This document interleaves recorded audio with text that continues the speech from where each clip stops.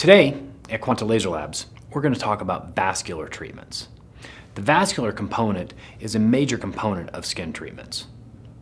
When your patient comes in, they may have a concern about a defined telangiectasia on the nose or concerns about maybe more diffuse redness like rosacea on their cheeks. Different light-based devices are better suited at treating one of those or the other. During this series, we're going to look at the different wavelengths and IPLs that we can use to treat those different benign vascular lesions.